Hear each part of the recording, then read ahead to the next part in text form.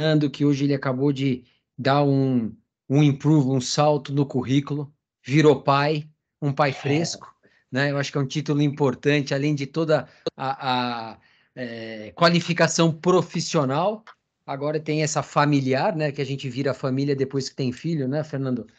Então, é, vou deixar você se apresentar, porque eu acho que ninguém melhor do que a própria pessoa falar suas qualificações. Eu sou suspeito para falar das qualificações do Fernando. E eu acho que a gente vai ter uma boa conversa. Queria dizer que a gente está aqui aberto. Gente, levanta a mãozinha aqui no Teams, a gente tem um chat, a gente está de olho. Quiser abrir seu microfone, fica à vontade. É para ser um, uma, uma hora, uma hora e pouco informal. Quem quiser se aprofundar, a gente vai ficar à disposição. Então, fiquem aqui à vontade para é, interagir com a gente durante nosso bate-papo. Fernando, obrigado, bem-vindo. Obrigado aí, obrigado pelo convite que a Pleno me fez e principalmente pela oportunidade de, de, dessa parceria com vocês. É, gosto muito, não tem por que falar isso, mas eu gosto muito de trabalhar com a Plenum e eu vou falar o porquê disso ao longo da, dessa aula. Né? Me apresentando um pouquinho, eu, para quem não sabe, eu tenho 13, quase 13, tenho 12 anos de formado e a minha primeira especialidade é endodontia. Fiquei na endodontia um tempo uma forma bem breve, por que eu acabei chegando na restauradora, eu começava a me questionar em vários casos de canal que eu fazia e que as pessoas não tomavam cuidado com o meu conduto, eu me matei de isolar um caso e de repente aquele dente estava lá sendo reembasado pinjete com saliva. E aí eu comecei atrás e o caminho, a vida foi me levando para a restauradora, quando eu falo restauradora, é dentística, que eu fiz a minha especialização com o Garófalo, e aí, por consequência de trabalho e rotina clínica, é, eu me aproximei muito da reabilitação e eu tenho o Léo Leonardo Buzo como um, um, mentor também, junto com o Garofalo, na minha carreira. E aí foi que eu comecei cada vez mais ter contato com o fluxo digital. Né? É, eu comecei a, primeiro a, a, me encantar com isso na especialização, peguei fiz algumas, alguns casos no, no fresados no, no, no, no Serec, né? E aí, eu, eu, realmente, aquilo que o Sami falou, quando você gosta de algum ponto específico, a gente você começa a ir atrás, né? E eu comecei a ir atrás do digital e estou assim engatinhando e cada vez indo mais atrás, né? Desde a parte de escaneamento, a parte de impressão, uma coisa que me encanta demais. E isso não tenho que falar, porque a, é, a Pleno me chamou a atenção a primeira vez que eu tive o contato foi que pelo fato de vocês terem os implantes impressos, né? E falando um pouquinho né, da, da minha aula, a minha ideia, na verdade, hoje é passar para vocês aquilo que eu escutei essa semana, inclusive, de um aluno, de uma aluna, na verdade, que falou assim: eu não entendo nada, o que, é escambore, o que, que é análogo. Falei, pera, você está misturando as coisas. Primeiro você tem que entender o básico, o, o que, que é a prótese sobre implante. E que, na verdade, essas coisas se conectam com nomes diferentes, mas são todas muito parecidas, né? Eu queria começar essa aula de uma forma um pouco diferente. Eu peguei essa imagem de vocês e eu botei a palavra criatividade, né? O que eu acho fascinante no, no fluxo digital, e acho que talvez foi isso que começou a Pleno também, vocês tiveram uma ideia, uma criatividade e foram atrás de, de desenvolver um implante impresso 3D, né? E além disso, N biomateriais que são muito fantásticos, né? E o digital me permite isso. Pode ser que eu esteja falando uma coisa e alguém nessa aula vire para mim e fala, Fernando, putz, eu faço diferente.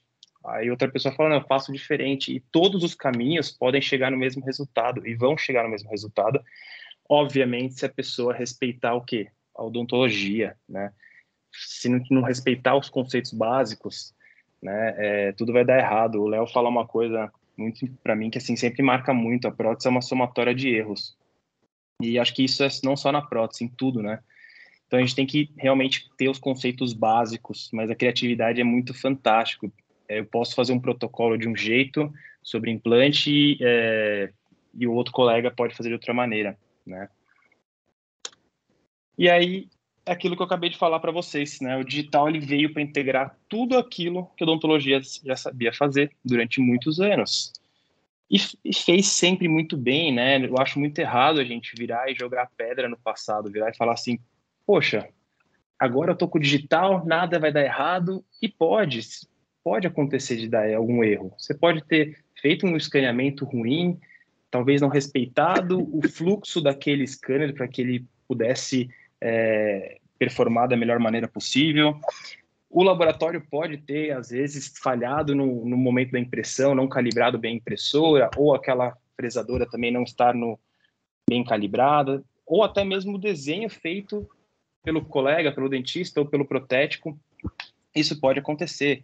Mas o que é o mais fantástico do fluxo digital? A gente consegue prever ou minimizar, na verdade, futuros erros. Né? É aquilo que estava batendo um papinho no começo. Eu faço uma moldagem que ela deu errada, eu vou ter que repetir tudo, colocar fio de novo, pôr o transferente em boca, é, puxar toda aquela moldagem.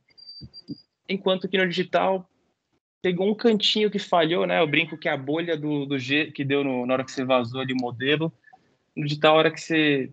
Perdão, a bolha que deu ali na sua moldagem, a hora que você olhar no digital, no seu escaneamento, você fala: opa, eu vou ali naquele dente 36 e vou apagar e vou corrigir. Isso para prótese sobre implante, para prótese sobre dente, né? E eu sempre falo, digital, se você usar o autoscanner só como material de moldagem, ele é um material de moldagem muito caro. Né? A gente tem que aprender a, a aproveitar ao máximo que o fluxo nos permite. E aí o que, eu, o que me chamou bastante atenção também na, de vocês foi o fato de um catálogo simplificado. Só que eu tenho medo dessa palavra simplificada, porque tem gente que interpreta de uma maneira que é algo ruim, é algo ah, é simples, né? E não, na verdade é, é um catálogo otimizado, né? Que eu não vou ter, por exemplo, um milhão de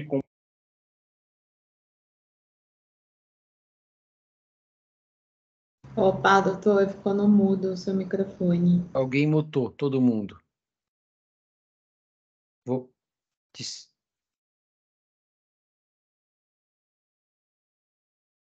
Uh, só desmutar, Fernando.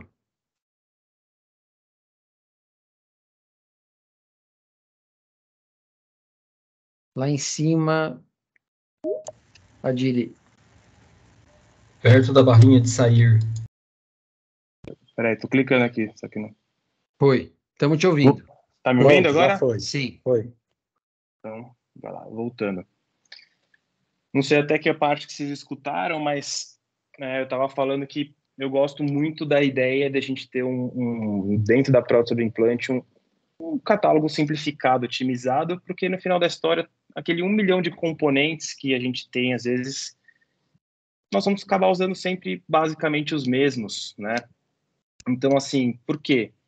Porque a gente tende a fazer aquela prótese da maneira mais personalizada possível, né? Para que a gente possa, por exemplo, dar um bom perfil de emergência, para que eu possa, por exemplo, criar um, um, um pilar personalizado, né? E eu consiga entregar uma prótese de excelência para o meu paciente, não só no anterior, como já tinha já escutei algumas vezes, ah, não, mas aí eu faço um pilar personalizado, eu faço um negócio mais legal no anterior, no posterior eu faço direto. Poxa, qual que é a diferença? Não é só questão estética, o paciente tem que comer bem, não, não pode acumular alimento, tem que ser uma prótese que dê condição para o nosso paciente, né? E aí eu queria falar um pouquinho do de alguns componentes para que realmente eu possa responder aquela pergunta que aquela aluna me fez essa semana lá na Eco, né? O que, que é o Scambari? Vamos voltar para a prótese sobre implante na moldagem. O Scambari é um transferente digital. Nós temos o transferente, teoricamente, que chamam de analógico. Não interessa se ele é um transferente de moldeira aberta ou fechada, eu vou mostrar uma foto comparando os dois. Tem gente que tem preferência por um, ou tem gente que tem preferência por outro. Mas o Scambari ele vai ter a função de transferir para o meu laboratório, de mandar para o meu laboratório a informação tridimensional do meu implante, onde que ele está espacialmente. Ele está um pouco mais inclinado, ele não está um pouco mais inclinado, a saída do parafuso no anterior ela está mais lingualizada ou não. A minha ideia da, da, saída desse parafuso é trabalhar, por exemplo, com uma prótese parafusada, esse implante está mais centralizado, apesar de que isso a gente tem aí o sistema Smart da Plenum que eu consigo e a minha preferência é sempre fazer uma prótese parafusada, né? é, eu consigo inclinar a chave numa angulação que me permita, por exemplo, centralizar o meu implante na melhor posição possível, né? E conseguir mesmo assim trabalhar com uma prótese não cimentada. Aqui a gente tem nessa imagem aí os é, colocando o que é da minha rotina clínica, né, que são os escambares dos três implantes SL, RE e SH, que é o short, o regular e o slim, né? E eu vou ser muito sincero, os meus casos hoje em dia, que eu tenho um bom implantodontista comigo e que eu sei que ele vai fazer o meu implante extremamente bem posicionado e em casos que ele acha que, puxa, eu vou ter uma certa dificuldade ou cada vez mais, isso tem até reparado muito, eu, quem opera lá para mim é o Guilherme Duarte e a Stephanie Garófalo, cada vez mais, mesmo em casos simplificados, a gente tem pensado em optar pelo, pela cirurgia guiada, porque tudo, todo aquele tempo que a gente perdia na cadeira, né, eu brincava com, com, o Guilherme assim, porque eu ficava tudo, ele operava, ficava tudo torto ali. Ah, põe um pouquinho para vestibular, põe um pouquinho para lingual, põe um pouquinho para mesial, um pouquinho para distal a gente consegue todo esse tempo gastar antes de estar com o paciente na cadeira e na hora de botar o paciente na cadeira a gente executar aquele procedimento da maneira mais rápida e mais confortável para ele e ainda esse, com excelência, né? Então, a maior parte dos meus casos, principalmente no implante do tipo cone Morse, eu faço com uma conexão cone Morse, eu faço o implante direto na cabeça, a prótese direto na cabeça do implante, perdão. E a gente tem o stand-by dos mini pilares, né, para próteses múltiplas, né, seja uma fixa, seja, por exemplo, um protocolo, uma all for, que aí a gente acaba usando um mini pilar e o escambar específico para esse mini pilar, tá? O análogo híbrido, né, que na verdade é a mesma coisa que a gente tinha, o análogo ele vai fazer a réplica do meu implante, né? E Mesma coisa, o análogo específico para o implante Slim, regular e o short. E o análogo do mini pilar. Eu tendo isso no meu consultório, né, eu acho, eu, sou uma pessoa que não gosto de ter grandes estoques, ainda mais, por exemplo, que eu estou numa em São Paulo, eu tenho uma facilidade, eu sei que, por exemplo, eu peço um material para vocês, para Plenum, às vezes, se eu precisar com urgência, chega no mesmo dia, se não, 24 horas depois está no meu consultório. Então, na minha, na minha, no meu fluxo, na minha organização, até por uma questão de espaço, eu não gosto de ter grandes estoques. O que, que eu preciso ter lá? Eu preciso ter Scambari para poder conseguir copiar a posição do meu implante e mandar essa referência para o laboratório, ou caso eu vá desenhar a peça, e eu preciso ter os análogos para conseguir também mandar para o laboratório para ele conseguir executar a peça e imprimir o modelo e testar aquilo tudo no modelo e checar a adaptação. Fora isso, eu preciso de um T-Base. Se eu vou optar para usar um, um, um pilar provisório smart ou não, tudo isso eu já vou planejar antes do meu paciente chegar e vou pedir isso para a empresa. Né? Mais uma coisa também do digital, eu consigo já me, é, me planejar, prever o que, que eu vou precisar lá na frente, para não ficar chegar na hora e falar, hum, aqui eu vou precisar usar um pilar do tipo Smart, porque a saída do parafuso numa prótese de um dente anterior não está interessante, né, para que eu possa fazer uma prótese parafusada. Essa foto eu fiz um consultório, né, recentemente, e é, ele mostra exatamente isso. Eu tenho na parte da tela para baixo, eu tenho os análogos, né, do, do implante é, regular. E eu tenho para cima os transferentes. Só que da esquerda eu tenho o, o Scambari, que é o transferente digital, é a mesma coisa. No meio eu tenho um transferente para utilizá-lo de moldeira fechada. E na direita, a última, a última foto, para possa fazer uma moldagem do tipo moldeira aberta. Mais um negócio que eu acho que é interessante para quem trabalha com é, o analógico bastante com a moldagem é que eu posso também optar. Eu não preciso ter componentes diferentes, transferentes diferentes para casos, para algum caso que eu queira, por exemplo, fazer uma prótese com moldeira aberta, né? Ou não, eu quero fazer uma moldagem com moldeira fechada. Eu, o mesmo componente, eu vou tirar o parafuso, colocar um parafuso curto e colocar esse, essa tampinha, esse chapeuzinho aí amarelo para que a gente possa transformar esse transferente para um sistema de moldeira fechada. Já no Scambari, não, não tem isso, obviamente, é um único corpo onde eu vou parafusar, acoplar no meu implante, eu vou com o scanner copiar essas informações, essas posições. Pessoal, se alguém tiver alguma dúvida aí, sem problema nenhum de interromper, tá? Obrigado, eu estou no chat aqui, por enquanto está tranquilo. E é aquilo, né? É, não existe prótese sobre implantes sem condicionamento gengival. Né? Esse é um provisório que a gente fez depois de uma cirurgia que o Guilherme operou. Ele operou, eu fiz esse provisório em resina composta, né? É, nesse caso em especial, eu fiz na mão. Só que, por exemplo, eu estou começando agora a imprimir algumas coisas e eu quero, talvez no momento de uma cirurgia, assim que o implante está instalado, já escanear a posição dele e eu começar a botar para fazer a impressão, que é o tempo, por exemplo, do meu cirurgião fazer um conjuntivo, preencher o gap. Obviamente que talvez demore um pouco mais o processo de impressão, cura da resina, né, a lavagem e a cura da resina, mas me permite que eu faça, por exemplo, isso totalmente num fluxo chairside, que a gente chama.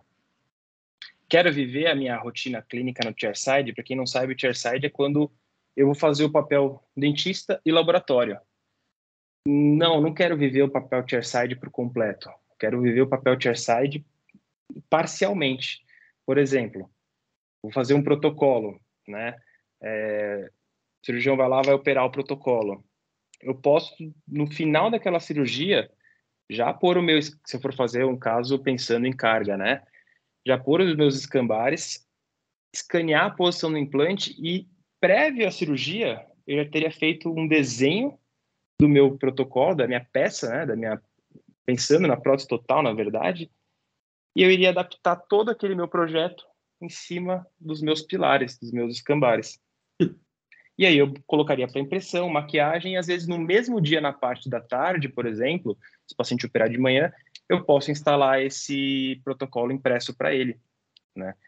Então, olha quantas alternativas eu tenho. Ou não, eu não quero imprimir aquilo. Eu quero, por exemplo, fazer a impressão da prótese total que eu tinha, que eu validei com o meu paciente, posição de sorri é, dos dentes, altura do sorriso, tudo aquilo que a odontologia sempre fez. E eu vou já fazer a impressão dessa prótese, já mais ou menos a perfuração da saída dos parafusos, mais ou menos com a posição que foi feita a minha guia cirúrgica para essa cirurgia guiada. E aí, na hora, eu vou capturar, porque talvez eu prefira já não ter um tempo tão longo de esperar a impressão ficar pronta, e eu consigo ali, com o meu paciente na cadeira, já tá com aquela prótese impressa, maquiada, aquele protocolo impresso maquiado, e simplesmente um furo muito próximo da posição da cirurgia guiada, e eu capturo a posição final e entrego isso para ele. Então, às vezes, eu otimizo aquele tempo laboratorial de cortar uma prótese total que o paciente já estava utilizando, coloca captura, coloca acrílico, preenche tudo, enfim, dá todo acabamento, eu minimizo todo esse passo laboratorial, né? E aí, voltando para o que eu estava falando no início desse slide, eu acho que a odontologia tem que parar com aquela história de que, ah, não, para posterior, eu não vou colocar provisório, já vou partir para peça direta, não tem problema tá errado, porque muitas vezes a gente não vai ter uma peça com perfil de emergência interessante, a menos que aquela cirurgia tenha sido feito, por exemplo, um cicatrizador personalizado. Por quê? Porque o formato, o arcabouço do meu antigo dente removido, do, da, lá, o paciente, vamos fazer um exemplo, o paciente perdeu 36, né? O cirurgião foi lá, removeu o dente da maneira mais conservadora possível, colocou o implante na mesma, na mesma sessão, a gente con constrói um cicatrizador personalizado. Tá? Não quero pôr dente, não quero colocar da carga ali, risco dele morder e perder o implante, enfim. Aí, essa, esse processo todo já vai manter o formato do meu perfil de emergência do, da minha futura prótese. Do contrário, um rebordo cicatrizado que eu vá fazer a cirurgia e colocar apenas o cicatrizador, nós precisamos parar com essa história, com esse imediatismo, e aí sim é o momento de ter calma e fazer um bom provisório, condicionar esse perfil de emergência da maneira mais correta possível. E não tem o que falar, para a gente conseguir fazer um bom trabalho, é tentar copiar a natureza. Né? É, isso o Léo fala muito, você pega um central, tenta copiar o formato da, vamos supor que o paciente perdeu 21, tenta copiar o perfil, o formato, a altura de zenith, né, do 11, para que a gente possa entregar para o paciente uma prótese com cara de dente e não que ele fique insatisfeito com aquela sensação de que putz, perdi um dente, eu não vou conseguir nunca ter uma estética de, é, é, correta, não, ninguém vai me devolver a estética que eu tinha de um dente que eu tinha, estava em boca, né? Então a gente tem que começar a pensar em copiar a natureza. E aí hoje, só posso fazer uma pergunta, Fernando? Claro, você lógico. consegue, hoje com o digital, você escaneando, né? Você falou, pô, ele perdeu o 21, você consegue hoje copiar o 11 digitalmente?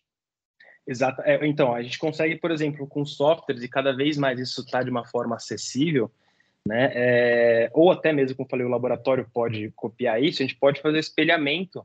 Né? Uhum. Então, ele perdeu 21, eu vou fazer o espelhamento do 11 no lugar do 21. E aí eu vou conseguir, da melhor maneira possível, replicar todo aquele aquela anatomia, aquela arquitetura que ele tinha antes, né? Ou até, por exemplo, uma situação mais interessante, né? Ao invés de eu espelhar, porque às vezes assim, ninguém é 100% simétrico, né? E eu não acho bonito aquela coisa simétrica, perfeita assim, que fica com cara de artificial.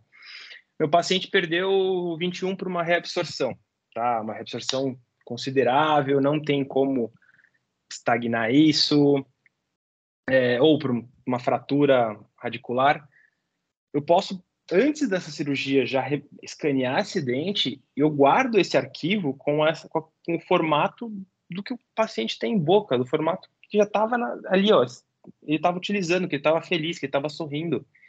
E eu faço a réplica disso na hora de executar tanto o provisório quanto a peça.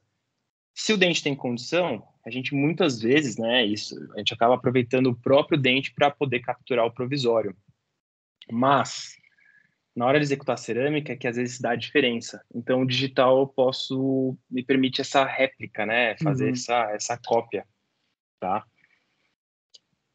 E sim, é possível é, copiar o perfil de emergência, porque vamos lá, vamos pensar assim: o cirurgião foi, operou, a gente fez o melhor provisório possível, respeitando toda a anatomia, toda aquela arquitetura gengival do paciente, e na hora de sair do provisório e migrar para cerâmica, eu não consigo entregar essa informação para o laboratório. Né? Ou como que a gente fazia na prótese, no, na, na, moldagem convencional, né? Uh, tinha dois caminhos. Primeiro caminho, assim que eu removia o provisório, eu colocava o transferente e preenchia aquela região né, onde eu condicionei o perfil com uma resina fluida, por exemplo. E depois eu arrastava tudo na moldagem, transferente, o perfil de emergência copiado. Ou eu pegava o meu provisório, duplicava ele, pegava, por exemplo, um, um pedacinho de silicone, duplicava aquele provisório e eu personalizava o meu transferente fora da boca e levava aquele transferente em boca, tá? Isso é uma coisa que há muitos anos a odontologia faz na prótese sobre implante. E no digital, como é que eu vou dar essa informação? Eu tenho até onde eu conheço, como, falei, a criatividade. Pode ser que alguém chegue, me vire para mim e fale, Fernando, eu faço isso de forma diferente. Mas tem dois caminhos. O caminho que eu geralmente faço, que eu acho que para mim resolve super bem. Na hora de fazer o escaneamento, eu vou mostrar isso no próximo slide. Eu gero dois arquivos, né, uh, da minha arcada. Vamos falar do exemplo do central aí, tá? Eu gero dois arquivos da minha arcada superior um arquivo que eu vou escanear assim que eu removo o provisório, então eu já copio logo aquele formato, aquele arcabouço, aquela arquitetura que eu consegui. E um segundo escaneamento, um segundo arquivo, depois que eu colocar o transferente, que seria o Scambari. Por quê? Nesse meio tempo, a gengiva vai voltando para a posição, ou perdendo, na verdade, a posição que você conquistou que você empurrou, que você condicionou com o seu provisório, né? Vamos ver nesse, nesse, nesse exemplo, nesse vídeo desse escaneamento. Vocês conseguem reparar, por exemplo, aqui do lado esquerdo, que eu tenho o número 1 e o número 2. São os dois arquivos de escaneamento que eu vou fazer.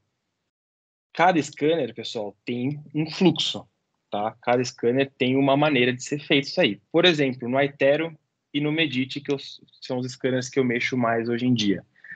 Né? É, eu tenho o Eterno na minha clínica. A gente consegue, por exemplo, a hora que eu estou preenchendo, eu vou, na próxima slide eu vou mostrar isso para vocês o passo a passo. Eu posso colocar ali pré-escaneamento, né? Por quê? Eu gero dois modelos digitais e um modelinho que só o troquel. Não sei se vocês estão reparando ali em cima, que eu tenho o número 1, número 2, eu tenho ali na região do 11, eu tenho o dente está pintado de azul ali, né? Que seria o troquel.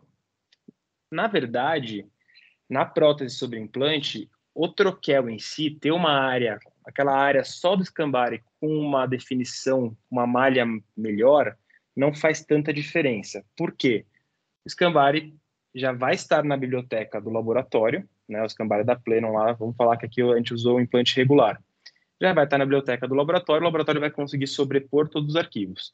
No caso da prótese sobre dente, a gente não, não existe um padrão né, de preparo. Existem a, as teorias corretas de um bom preparo. Mas um vai ter uma inclinação de um jeito, outro vai ter do, de outro. É impossível, são dentes diferentes, pacientes diferentes e momentos que você preparou diferente. Né? Então vamos assistir esse vídeo aqui e eu vou falando ele ao longo do, do trajeto. Reparem, por exemplo, ó, fiquem bem atentos na, na, na, região da gengiva. Assim que eu coloco o escambare, olha como fecha essa gengiva, como ela volta para. Ela perde toda aquela uhum. arquitetura que eu tinha conquistado com o provisório isso em segundos, né? Quando eu comecei a trabalhar com scanner, eu olhava ali e falava, ah, eu acho que não vai fazer tanta diferença, é tão rápido. Em segundos, a tua gengiva vai. Volta para uma, uma, uma posição que você não gostaria que ela estivesse. Então, tirou o provisório, eu já começo a fazer escaneamento dessa parte. Já deixo essa, essa região com a cópia perfil. certinha, com esse perfil bem, bem, mar, bem copiado, bem escaneado aí sim eu vou para o segundo arquivo e eu gero o, modelo com o Scambar em posição, tá? Tem scanner que a gente vai precisar, por exemplo, fazer o escaneamento com o provisório em boca, né? Se não me falha a memória, acho que o T-Shape é dessa maneira. A gente faz o escaneamento com o provisório em boca, apaga só aquela região e faz o escaneamento do perfil de emergência logo em seguida, tá? Mas eu não trabalho com T-Shape e habitualmente trabalhei umas duas vezes só e eu não tenho experiência com, ele. Por isso que cada scanner tem um, uma dinâmica, tá? Tem scanner que, por exemplo, como no Medit, eu consigo criar quantos arquivos, escaneamentos eu quiser. Então, por exemplo, eu vou fazer esse paciente que está aqui na tela. Eu vou fazer um escaneamento com o provisório, aí eu adiciono um escaneamento só para copiar o perfil de emergência, aí eu adiciono mais um escaneamento para copiar a posição com o Scambari, então, eu consigo fazer quantos escaneamentos eu quiser. A outra maneira da gente copiar essa informação e mandar para o laboratório, ou melhor, mandar mais informação ainda para o laboratório, no caso do Etero, eu faço tudo isso que eu mostrei para vocês e eu fecho esse arquivo, abro um arquivo novo e eu simplesmente, com o provisório na mão, eu faço o escaneamento deste provisório e eu mando essa informação para o laboratório. Olha, este provisório está com uma forma perfeita, está com a altura do posição de zente correta, áreas de sombra, área de brilho bem delimitada. Eu quero que você copie esta forma, Ctrl C, Ctrl V. E eu mando essa informação para o meu laboratório, tá? É uma outra maneira. Ó, no scanner, no scanner aqui no Aetero, vejam que, por exemplo, eu vou preencher o nome do paciente, Vou preencher o, o, último nome dele, são as informações obrigatórias que o scanner me pede para que eu possa seguir. No caso do Etero, eles ainda não submeteram a, a biblioteca, então o que, que eu vou fazer da Pleno? O que, que eu vou fazer? Algo que, para falar bem a verdade, não faz diferença nenhuma, porque o laboratório que vai jogar esse arquivo no Exocad, por exemplo, e fazer o desenho. Então, eu seleciono uma coroa, simplesmente poder copiar aquela região, um material você pode colocar, ou você pode colocar qualquer coisa, ou simplesmente você pode mandar essa informação por escrito naquelas é, informações adicionais que nós temos embaixo. E eu seleciono aqui, ó, pre-treatment, né? Que vai me gerar aquele duplo, aquele arquivo duplo para conseguir fazer o escaneamento que eu mostrei na, no slide anterior. Certo? Pensando então agora num paciente que tinha um rebordo cicatrizado, esse paciente está passando por uma reabilitação completa, só que como não vai ser feito orto nem nada, a gente fez o benefício antecipado dos implantes, né? Uh, até mesmo porque a gente já tinha um, uma noção de que se, após o encerramento não ia, por exemplo, mais, vestibularizar mais ou lingualizar, não ia, isso não faria diferença nenhuma. O Guilherme operou esse paciente, ele, não, ele já tinha perdido esse, esses dois primeiros molares há muito tempo. O Guilherme fez dois enxertos de conjuntiva aí na região, fez os implantes, e como eu falei, era um rebordo cicatrizado. O que, que eu precisava fazer? Fazer um provisório para criar o perfil de emergência. Escaneei, botei os dois cambares. Nessa situação em especial, eu não preciso fazer todo aquele processo de um duplo escaneamento. Por quê? Porque eu não tenho nenhum perfil de emergência para copiar.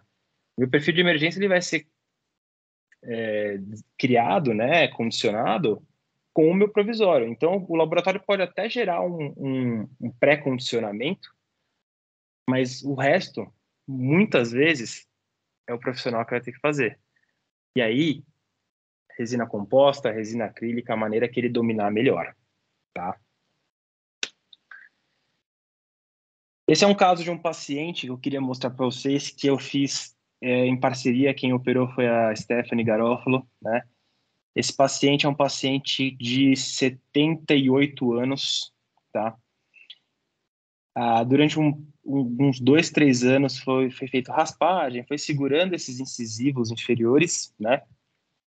Só que chegou um momento que não dava mais para manter pelo menos o 31 e o 32. O paciente, ele é um paciente que tem uma situação delicada no sentido de é um paciente que tem uma depressão e ele falou, Fernando, eu não quero, já fiz um protocolo superior, né, que foi feito inclusive com os implantes da Plenon.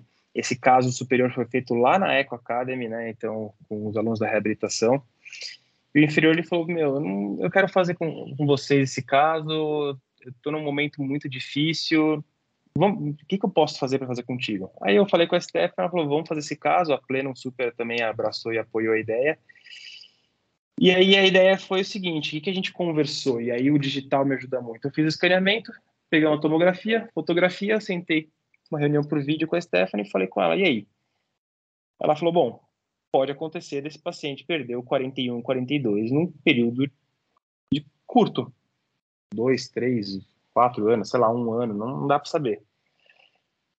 Mas vamos pensar então em operar já planejando caso ele esses dois dentes aí não consiga ser mantidos em boca. Fizemos o implante então na região do 32 com o cantilever no 31. Ela operou esse caso, fez um enxerto, fez um conjuntivo, um paciente também fumante, complica um pouquinho mais a situação aí do pós-operatório, né? não tomou grandes cuidados também, mas no geral a gente fez no dia que removeu, fez o implante, já pegou o próprio dente do paciente, a gente capturou isso, né, uni com resina composta por lingual, e a gente capturou. Cinco meses depois ele voltou com um bom volume, com uma situação favorável, ainda mais pelo, por todo o histórico dele, por não ter cuidado tanto. O paciente aí com 48 horas já foi morder um negócio, mexeu sutura, hum. foi, foi, bem, foi bem caótico, na verdade, né? E ele fuma uma média aí de uns 15, 16 cigarros ao dia, que não é pouco, né? Quase que um maço. Isso ele foi o que ele falou, então se ele falou esse número, talvez ele fume até mais, né? Com certeza. É, então, assim, cinco meses depois o paciente voltou para a gente reabilitar. Foi feito o escaneamento, copiando o perfil de emergência, lógico que no incisivo inferior ainda mais tentando seguir as características do que ele tem, tinha antes, não tem um perfil muito condicionado, né? O perfil dele é o formato de um incisivo inferior. Foi feito escaneamento e em cima ele tem um protocolo. A gente escaneou o próprio protocolo dele em boca, tá? Por quê? Porque é mandar referência para o laboratório. Né? O laboratório recebeu essas informações e nesse caso, como a gente fez uma peça em cantilever, né, com, com 31 em cantilever, a gente optou por fazer uma metalocerâmica dentro do fluxo digital.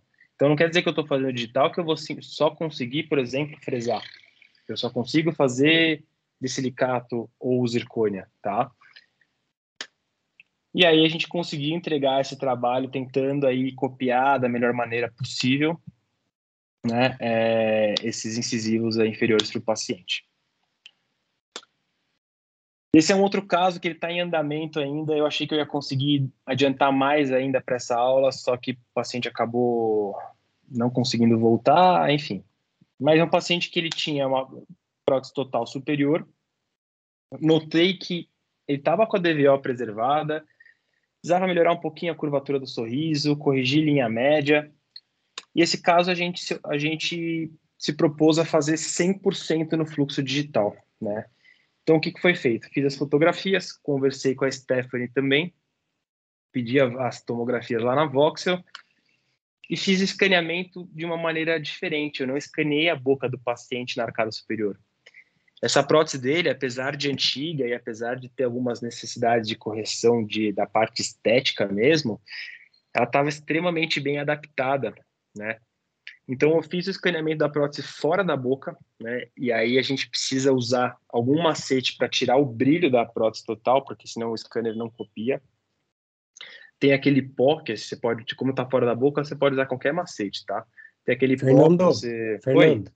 deixa Oi? eu te interromper. Eu não ia te interromper, mas você acabou de falar, tem uma pergunta no chat, uhum. perguntando se você se dá para escanear o provisório também fora da boca.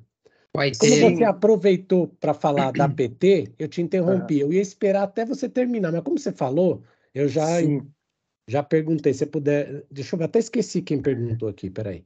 O Marcelo. Marcelo. Marcelo, isso. É, Marcelo Ferreira. Quando estava falando ali, ali atrás, eu comentei que a gente tinha duas maneiras de mandar essa informação para o laboratório. Vamos supor que esse provisório está impecável, eu fiz ele da melhor maneira possível, eu reanatomizei, criei toda a anatomia primária, secundária de um dente, né? E ele está perfeito. Perfeito, perfeito, perfeito. Posição do dente ótima. Eu faço o escaneamento da maneira que eu falei, eu fecho esse arquivo, no caso do Aitero. Se for, por exemplo, no Merit, eu posso adicionar no mesmo arquivo mais uma opção de escaneamento.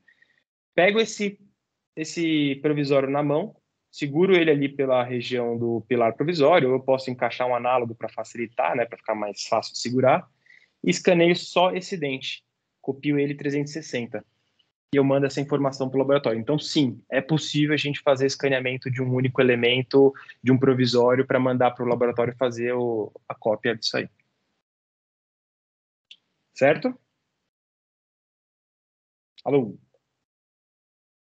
Estão me Beleza. escutando? Ah, tá certinho, tá Fernando. Certinho, estava no mudo aqui. Então, nesse, nesse caso aqui, voltando, o que, que eu fiz, tá? É macete de laboratório que ele que o laboratório me ensinou. Eu peguei, eu não tinha aquele spray, né, para deixar tirar o brilho, né, para poder ficar fosco para a gente conseguir copiar. E o macete que o laboratório me falou foi pegar tipo pó de maquiagem, sabe?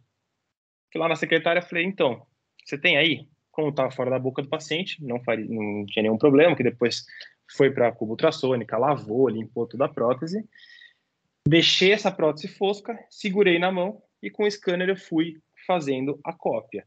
Uma coisa que eu quero salientar que é o seguinte: simplesmente ver a imagem no scanner não quer dizer que você está fazendo um scanner, um escaneamento sem distorção. Como eu falei, cada scanner tem uma conduta e num caso como esse, a, a proposta dentro do Ethereum para a gente conseguir copiar da melhor maneira possível e não distorcer a malha, porque o arquivo STL, o scanner, ele é uma malha toda entrelaçada. Se você começa a virar tudo errado, todo errado scanner, tô na boca, viro para cá, viro para lá de qualquer jeito, essa malha começa a copiar um monte de imagem uma em cima da outra e fica uma malha torcida. E aí pode dar uma distorção no seu escaneamento. Então, nesse caso, como é que a gente fez o escaneamento, né? É, fizemos toda a oclusal da prótese total, tá? É, primeiro de ponta a ponta, de molar a molar, oclusal, incisal, oclusal. Lingual dela inteirinha. Quando eu cheguei, isso de um lado para o outro, tá? De, do segundo, do primeiro molar ao primeiro molar. No caso aqui, o segundo. Cheguei na, no, do outro lado, vim com o scanner copiando toda a vestibular, Nunca fiquei desligando meu scanner, então foi uma coisa contínua. Então, oclusal inteira, de ponta a ponta, lingual de novo de ponta a ponta, vestibular de ponta a ponta, fui com o scanner para a região interna do, da prótese total, copiei ela de novo de ponta a ponta e depois eu completei a região do palato, tá?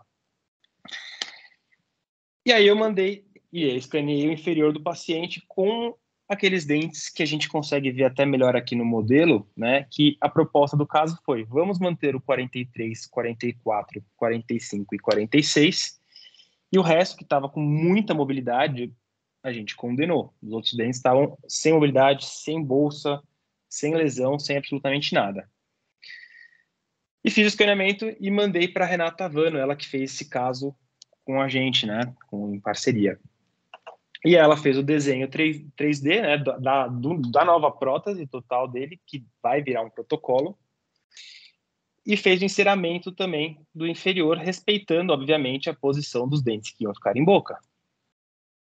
A gente fez a prova, né, isso aqui é a prova do try-in, né, do test drive, e eu virei e falei, puxa, tem que melhorar um pouco a linha média e o, os dentes estão muito longos, está tocando o lábio inferior do paciente fiz fotografia e mandei para ela de volta. Ela fez um arquivo dessa maneira aqui, ó, que vocês vão ver. Fez o enceramento e a impressão dos dentes, só da arcada. Fez a, vai continuar o vídeo, ó, fez a impressão da parte superior da, pró, da, da prótese total. E ela não chegou a colar os dentes na parte superior da prótese, na base de prova. Ela mandou em cera isso aí, só preso em cera. Ela simplesmente destacou os dentes, redesenhou de acordo com a minha foto e mandou novamente para que eu possa fazer a prova. Espera que deu uma travada aqui no computador. Vamos ver se era para passar para o próximo slide. Passou. E aí a gente conseguiu reparar que, ó, volta aqui. Melhorou a, o comprimento dos dentes, curvatura está muito mais interessante. Já dei uma, um pitaco para ela ali de uma coisinha ou outra que ia mudar.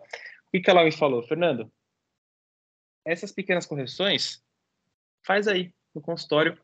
Peguei um disco de lixa, ou aquele Soflex, e dei uma diminuidinha aqui, uma reanatomizadinha ali, e reescaneei essa prótese. Ou seja, o meu enceramento, após a minha, o meu, o, as minhas modificações, gerou um novo arquivo. Eu gerei um novo arquivo, perdão, gerei um novo arquivo que seria meu novo enceramento. Pronto, tá tudo validado. Dali para frente, eu mandei para Pleno, tá? Para que a gente possa, para que a Pleno pudesse na época fazer a, a, o desenho da guia cirúrgica, né? Para a gente executar a cirurgia guiada e, obviamente, sempre primeiro planejamento, a prótese, o implante ele vai sair na posição que o protesista determinou. Não existe implante onde só tem osso. Se não tiver, aí vai para uma outra situação, o que o Jamil, o Beto e o Sam vão falar muito melhor do que eu, que é fazer uma regeneração, enxerto, etc, enfim, né? E vocês vão reparar no inferior aí também que a gente fez só um pedacinho da arcada, né? Só o 35, 36, 34, 35, 36 a impressão. Por quê? Porque eu precisava validar tudo isso em boca, ver como é que estava a oclusão do paciente. E a gente não tinha operado ainda esse paciente. Se vocês repararem, meu mouse aparece na tela, não? Aparece. Vocês estão vendo esses pontinhos aqui que eu estou passando o mouse aqui, ó, aqui embaixo, uhum. aqui em cima. O que, que, são esses pontinhos? São pontinhos de gutapercha. Por quê? Depois que eu validei tudo isso, além do escaneamento que eu fiz, que é esse, esse vídeo que vocês estão vendo, o, o paciente foi com essa prótese na Voxel para fazer a, a tomografia. E eu consegui ter pontos radiopacos para dar referência para o meu cadista executar o, a guia cirúrgica e a posição, a saída, do, a posição dos implantes tridimensionalmente falando, né? A gente já tinha observado que ia precisar fazer um ganho oclusal em resina ali no 43, 44, 45 e 46 mas estava tudo dentro do nosso planejamento. Ou seja, aquilo que eu já falei, já me adiantei, né? O planejamento prévio da série dos parafusos, ele vai ser 100% de acordo com a posição do seu enceramento, com a posição da sua prótese. Para que o protesista depois não, não, não precise fazer gambiarra, usar um componente angulado onde não deveria, para resolver um problema de, de um mau posicionamento de implante. E todos sabem o quanto que a odontologia sofre, principalmente pelo passado, quando colocava esse implante onde tinha osso e pronto. Volto a falar, pessoal, se estiver errado, me corrijam, por favor. Essa é a imagem cinco meses após a cirurgia, a gente teve que fazer um pouquinho. Nesse caso, a gente se propôs a não fazer o levantamento de seio e a gente fez o planejamento com os dois implantes é, da região de pré-molar inclinado, correndo é, paralelo, paralelo não, ao lado do, do seio maxilar. E aí, qual que é o próximo passo? Legal, coloquei o meu mini pilar em posição, determinando a altura. Eu fiz aqui uma ilustração mas eu vou passar a foto de como ficou. Eu peguei aquele meu, aquela minha prótese total impressa, que era o provisório, o test drive, e recortei, abri uma janela nela. Por que, que eu fiz isso? Para mandar informação para o laboratório. Como que a gente fazia no analógico? Base de prova, rolete de cera, processo da prótese total. Marcava a linha alta do sorriso, posição dos caninos, linha baixa do sorriso, linha média. No digital, eu tenho a referência da prótese total provisória que eu imprimi, certo? Eu abro uma janela e eu vou fazer aqui nessa situação três arquivos de. Oi? Não, interessante a tua técnica aqui de abrir a total. E, mas a gente abre o máximo que a gente consegue sem perder apoio e estabilidade. Por quê, Beto? Porque toda essa rugosidade do palato ela é muito importante para duas situações. Um, para o scanner conseguir copiar, o scanner copia rugosidades, anatomia de dente, é, rugosidade do palato, e para que o laboratório possa é, sobrepor e ter certeza que ele alinhou da melhor maneira possível esses três uhum. arquivos de escaneamento que eu falei. Ou seja, vai ser um, um escaneamento só dos escambares em boca, vou escanear o palato, o palato completo só com os escambares. Eu vou fazer um escaneamento exatamente como está na foto, prótese mais escambare. E eu vou fazer um escaneamento só da posição dos mini pilares, porque é um arquivo que tem quase nada de informação atrapalhando para ele conseguir sobrepor um, depois o outro, depois o outro. Os três arquivos de escaneamento. E aí o laboratório tem a noção opa, esse implante está aqui, a posição do ceramento dos dentes está tá, tá, tá um pouquinho para cá, um pouquinho para lá, ele consegue executar. Aí abre um leque de possibilidades. Você pode, por exemplo, fresar uma, a barra e experimentar, porque o, o laboratório já vai desenhar essa barra de acordo com a forma que você já tinha estipulado do, da, daquele protocolo, daquela prótese total. Você pode, como eu quero, na verdade, nesse caso, ter certeza de que vai encaixar tudo, né? É, para não ter que mexer numa barra fresada, que não é a proposta, o laboratório te mandar um arquivo ou ele mesmo imprimir um index, uma barra, para você experimentar. Puxa, está encaixando, está ótimo, pode fresar. Você pode, por exemplo, é, já pedir, se for muito audacioso, audacioso já pedir para vir tudo montado. Eu não acho que isso seja interessante. Não, Fazer o fluxo digital não quer dizer pular etapas. E aí, daqui para frente, o laboratório vai fresar a barra. E, e aí, neste momento, conversando com o meu laboratório, a gente vai dar só um pequeno passo para trás em relação ao digital. As resinas impressas estão cada vez mais fortes aí no mercado. Tem resina lá fora aí que está sendo testada com quase 200 megapascal de resistência. Só que qual que é a estabilidade disso ainda? Eu quero fazer uma prótese no meu paciente que dure, né? Então, nessa situação especial, o laboratório vai fresar a barra, dali para frente, ela vai nesse caso, né? Vai montar em cera, eu provo o conjunto, deu certo, acriliza. Tá? É a única situação que eu prefiro dar um passo para trás. Ô, Fernando, e falando de... Oi. Eu não, eu não vou me aguentar. Então, quando você falou um passo para trás, eu falei, você vai unir tudo com pattern heading e vai transferir. Não, não, não, não. Quando, é quando a veieira não sai de você, né? Você tem um scanner novo, eu falei assim, ele vai unir tudo. Não, não. Mas olha que Foi engraçado. mais forte que eu, eu tive que interromper isso. Eu falei assim, não, vai unir com pattern. Eu já teria unido.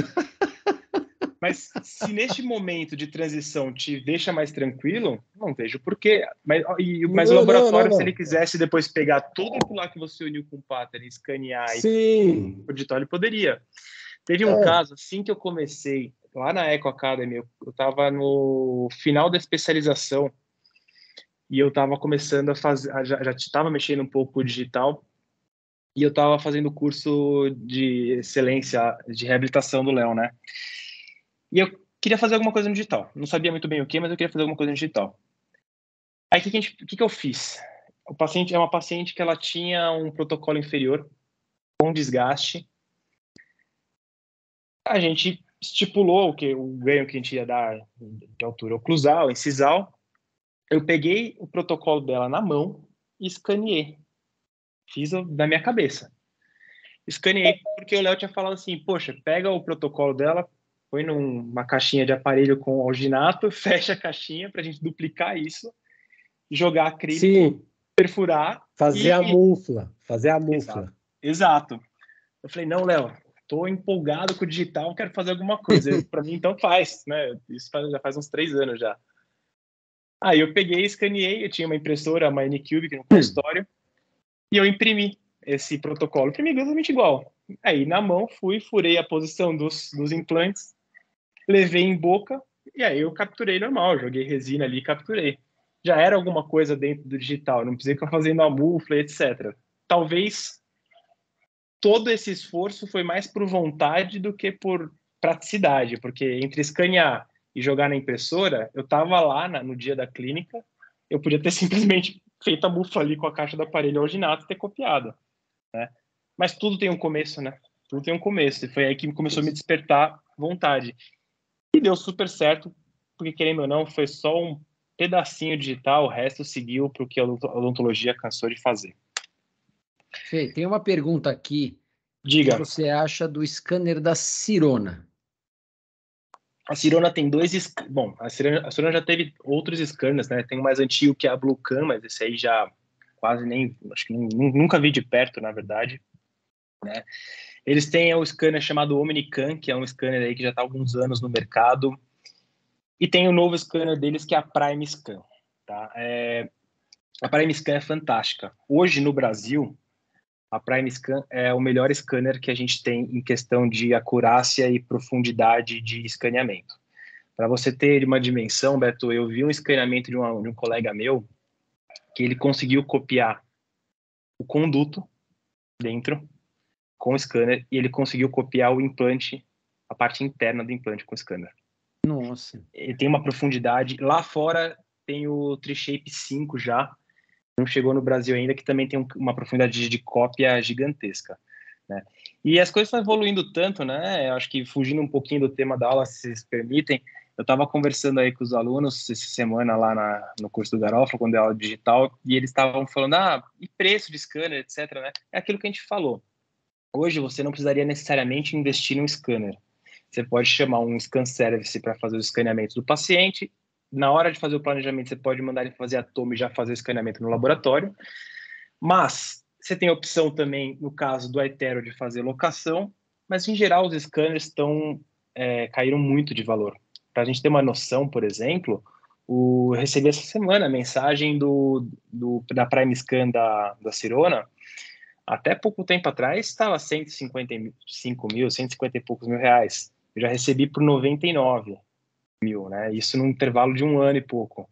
Ah, o Trishape também já está 74 mil hoje. No, no index mesmo estava 99.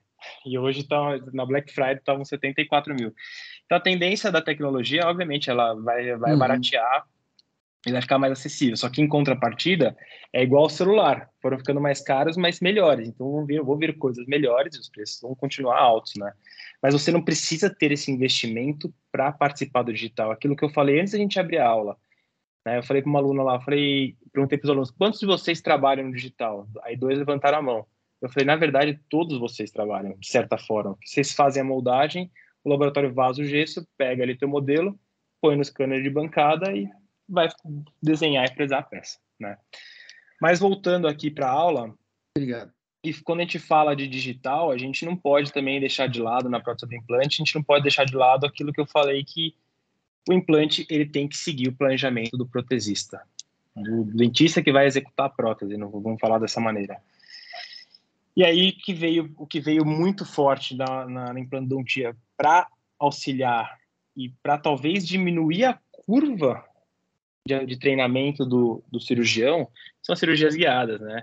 É, não, não, vai deixar o digital não é refúgio de dentista despreparado, tá? Ele não vai pegar o, o, o cara que se formou agora faz lá, uma semana que nunca fez uma cirurgia, mal fez uma cirurgia na faculdade, ele vai sair fresando imprimindo uma, uma guia cirúrgica e operando, porque tem que ter noção de conceitos. Pode pôr implante, não pode, se paciente permite receber implante, não permite, né? Vou precisar fazer um conjuntivo, não vou precisar de enxerto, enfim. Mas aquela curva de treinamento do, do cirurgião, ela diminui muito com a cirurgia guiada, né? E isso é o sistema de vocês está não é para puxar sardinha porque a aula de vocês, o sistema de vocês me surpreendeu como é um dentista que não, não faça parte, cirúrgica, né, não opera, apesar de gostar muito de acompanhar, né, eu estava até falando esses dias que eu estou querendo fazer um curso de pele, até mesmo para entender e poder reabrir melhor um caso, enfim, mas ele vai diminuir muito aquela curva do profissional que está em treinamento, tá, que está em evolução. Então, acho que em resumo, para a gente fechar, o fluxo digital não substitui treinamento e conhecimento do operador. Ele sim complementa. O dentista precisa entender que o digital é uma ferramenta, não é um timismo, tá? Aquela coisa de que eu faço digital, sou melhor que você, isso não existe. Ou aquela história de que, ah, meu consultório acabou a massinha, também não existe, pessoal. É uma ferramenta. Se você tiver um caso com o teu paciente na cadeira que você vai executar melhor moldando, ótimo, faça o melhor para ele, tá? É, e a gente tem que respeitar a biologia sempre. Otimizar tempo não quer dizer pular etapa sempre que a gente que o dentista tentar pular uma etapa, a chance dele se dar mal e ter que dar um monte de passo para trás é gigantesca, né? É isso, né? Meu contato tá aí, quem quiser, portas abertas para tirar dúvida, mesmo agora, mesmo pós-live, né? Para a gente, quando chegar no consultório surgir aquela dúvida, putz, Fernando, eu fiquei com dúvida nisso. Portas abertas aí, respondo com o maior prazer, né? Obrigado, Beto. Obrigado, Jamil. Obrigado, Sami, pela oportunidade de estar aqui com vocês e pelo carinho da Plenon, né? O, a Plenon é uma empresa que, eu, como falei, ela me encantou pela criatividade que vocês. Eu não sei como foi a história, mas provavelmente vocês um dia sentaram e tiveram uma ideia e essa ideia foi atrás de, obviamente, um monte de estudo e hora de horas de artigos e coisas lidas, né? Mas querendo ou não, foi uma criatividade. Sair da, caixa, da caixinha e fazer um implante impresso 3D, sair da caixinha e ir contra a maré, não digo contra a maré, na verdade, né? De ir a favor da maré do digital, mas bater de frente com um monte de, de empresa grande, isso não é fácil, né? É, eu brinco que quando eu abro a caixinha de vocês, eu, eu sinto aquela sensação de abrir o, um iPhone, né? Aquela caixinha que é toda certinha, rígida, que se abre com o maior cuidado, todo acabamento. Mas enfim, obrigado aí pela oportunidade e estou aí todo ouvidos abertos para qualquer crítica ou até qualquer dúvida mesmo. Obrigado, Fê. É, foi um privilégio mais uma vez ouvir você falar, né, a tua ascensão, o teu conhecimento, a tua propriedade com que você trata do tema né? Ser uma pessoa que faz no dia a dia, né? A gente vê isso, eu acompanhei aí, e quem te acompanha no Instagram é legal, né? Chegando os seus gadgets, seus equipamentos, uhum. e como você faz isso a sua rotina, e como você tem a bagagem, né? Você é daquelas pessoas que é, nunca deixou de estudar, está vinculado a curso, eu acho que isso é super importante, né? Você é ministrador, né? Tá lá, eu acho que difundindo conhecimento, eu acho que é um privilégio, né? Eu acho, te parabenizo por isso, que Obrigado. não só ter conhecimento, como difundir conhecimento. Eu sei que você está lá, o Léo, é, Garófalo, toda a equipe, né, é, e todo mundo que está em volta é, busca transmitir né, esses conhecimentos e essa odontologia que vocês é, fazem com muito capricho. Eu acho que todo mundo ganha. E a forma como você tem domínio né, do digital, eu acho que por isso que é, é muito legal ter você perto da gente, né? Você usando, testando os produtos e vendo que a coisa está funcionando, isso que é importante. Né? Ter você como um crítico ali e ver o trabalho que você está fazendo com os nossos produtos né? é muito bacana. Para nós é muito satisfatório isso. Eu acho que o Sami está aqui, o Jamil. A história é longa, tá, Fernando? É, quando a gente sentou, né, sentou, comeu o sanduíche no chão, né, no congresso, não tinha onde sentar, né, apresentando post, estou falando já quase duas décadas atrás, a gente, é, mas é o digital, né, a gente evoluiu junto, a Pleno vem com muitos conceitos que só tecnologia possibilitou, né, a gente não quis enfrentar né, os, os grandes, e sim inovar, trazer coisa nova, e a tecnologia foi o que possibilitou a gente construir algumas soluções, né? Eu acho que dentro da, dos diferenciais da Pleno, né, dos propósitos que a gente tem como empresa, é trazer produtos de excelência, né? A, primeiro, a preços acessíveis para um dentista que busca uma odontologia é, refinada, né? Uhum. Que eu acho que toda a maioria quer isso e trazer Sim. soluções que a gente não tinha, né? Então, a gente ainda vem trazendo coisas, vem melhorando. Eu acho que a empresa tem que estar constantemente ouvindo vocês, ouvindo o mercado. Uma coisa são as nossas convicções, né? Outra coisa é o produto na mão de vocês, o mercado falando. Então, esse feedback para nós é de muito valor ter você aí já usando há bastante tempo, acho que desde o início, é, e mostrando agora a segurança com que se apresenta. Te agradeço muito, te parabenizo. Não sei se o Sam e o Jamil aqui, ou alguém que estava aqui com a gente. Nosso time também está aqui, agradeço a todos vocês. É... Quiserem colocar alguma coisa, o chat está aberto. Vamos aproveitar que daqui a pouco o Fernando tem alguma tarefa familiar para fazer. A filhinha é. dele deve estar tá esperando ele. Tá dormindo agora, tá tranquilinha aí. Tá tranquilinha. E tá tranquila, que até agora a gente não escutou ela. É, então, desde a, a gente deixou tudo no jeito antes da aula, tá dormindo até agora, então segue dormindo. Aproveite e vai descansar você também. Essa é a dica. ah, muito legal, Fê. Foi um, um privilégio muito grande. Deixa o Camila estar tá aqui com a gente. Eu queria só. Ah... Beto, tem uma pergunta aqui, ó sobre escaneamento, se a cabeça do implante ou no pilar. O que, que você é... prefere, eu acho? O que, que você prefere, escanear a cabeça do implante ou já escanear o pilar eu na ponho, do implante? Não, eu prefiro escanear na cabeça do implante. Se bem posicionado, se não precisar de nenhum tipo de alteração, eu prefiro escanear na cabeça do implante. Eu ponho o transferente direto, o escambário direto no implante e faço a prótese direto no, no implante. A não ser nos casos de mini pilar, né, Fernando? Não, sim, exato. No caso do mini pilar, eu vou usar o escambar específico do mini pilar. Isso aí. Né? Mas eu prefiro fazer na cabeça do implante, se bem posicionado, porque eu sei que eu vou conseguir dar um perfil de emergência mais interessante na minha visão protética. Né? Eu posso fazer um pilar, personali um pilar personalizado em zircônia, por exemplo, para ficar em íntimo contato com o tecido, e faço uma peça, em, por exemplo, de silicato de lítio cimentado sobre esse, esse cimentado, mas mantendo a ideia de uma prótese parafusada, obviamente, mas cimentado sobre esse pilar de zircônia. Pessoal, eu estou deixando aqui na tela para vocês um QR Code para todo mundo que ficou com a gente até agora. É, vai levar vocês aí para uma página nossa com umas promoções que o time preparou para vocês, tá? Tem coisa bacana é, de componente digital, de biomaterial, de pacotes de implantes, uma coisa bem interessante. Não sei se vocês estão vendo a minha tela, Fê, você está vendo? Tô, tô vendo, tô vendo o QR então, Code aqui. É, é, é, o mundo do digital, né? Não tem jeito, tá vendo? É o digital na nossa vida, não tem mais papel nem nada, a câmera né, dos telefones está na nossa mão. Então, acho que o pessoal, é, quem estava aqui, conseguiu escanear, não sei se deu tempo, Jamil deu tempo, vocês viram? Tá, tá normal, já liguei, normal. já coloquei lá. Já escaneou já, beleza. Funcionou, né? Funcionou, normal. Muito fácil, muito fácil. Isso é um capricho da turma. Para quem, quem ficou com a gente, né? A gente gosta de privilegiar os amigos que sempre nos acompanham e tem bastante gente que está aqui em todas as, as nossas conversas, nossas lives. Então, agradecer ao nosso time, aos amigos que nos acompanham, aos fiéis clientes, Fernando, você, Léo, todo o time, né?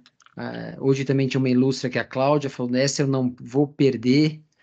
A Cláudia é Entendeu? é sempre nota 10, é. Então, um privilégio. Obrigado, Marcelo eu que agradeço Martins, aí, tanta tá gente, gente, aqui. Com... Marcelão, obrigado pela presença. Não sei se o Jorge está aqui também com a gente. Um monte de. É, a Gislaine, pessoal que fez pergunta, obrigado pelo interesse. O Marcelo Carvalho. É isso aí, gente. A gente, o Daniel. Continuamos aqui à disposição de todos, pessoal. A pleno portas abertas para atender vocês da melhor maneira possível. Fê, obrigado, viu, mais uma vez. Obrigado eu e obrigado principalmente uma honra estar com todos vocês e ter tanta gente aqui junto escutando um pouquinho daquilo que eu gosto muito, que é a odontologia digital. É uma coisa que hoje em dia estou fazendo mestrado na odontologia digital, uma coisa que enche meus olhos, que realmente me faz, me, me dá prazer, me dá muito prazer. Fê, obrigado, é viu? Foi, foi 10. Vamos continuar, Parabéns, a gente vai estar perto top. e vamos mais vezes a gente vai com, com, trazer essas conversas